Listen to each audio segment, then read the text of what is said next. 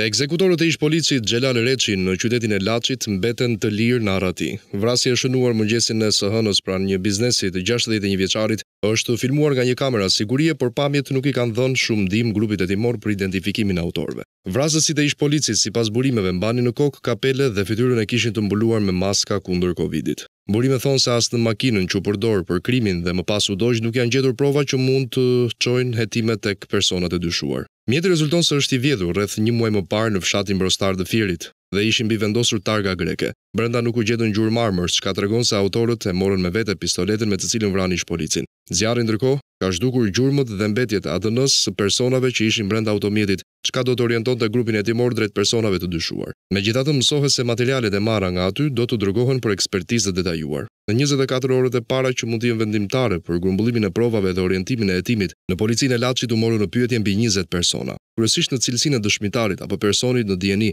ata kanë dhënë dëshmi që sipas burimeve nuk e kanë ndihmuar grupin hetimor për të shkuar drejt gjurmëve të autorëve. Ndaj të gjithë mësohet se janë lënë të lirë. Paralelisht, policia lokale e ndihmuar nga forcat e ndërhyrjes së shpejtë, kanë ushtruar kontrolle në disa zona të Kurbinit, por pa rezultat. Hetimet për vrasjen e policit që merrej me biznes janë shtrirë në disa pista, por kryesorja mësohet se është ajo e konflikteve të tre djemve të tij. Besnik Reçi, që dyshohet i përfshirë në disa ngjarje në zonë, i shpëtoi verën e kaluar një atentati ku u sulmua në Shëngjin me armë ndërsa udhëtonte në makinë me bashkëshorten dhe fëmijët e mitur. Familja Reçi mësohet se ka pasur një konflikt edhe në fshatin Gjormë, por sipas burimeve, ai ishte mbyllur sipas traditës. Ekzekutorët dyshohet se e ndiqtin prej ditësh Xhelal Reçin dhe e qëlluan me dy plumba sapo ai zbriti nga makina në qendër të Laçit. Në instinktin e ish-policit, gjashtëdhjetë e një vjeçari tentoi të fshihej në një rrugicë, por një goditje në gjoks dhe një në bark rezultuan vdekjeprurëse.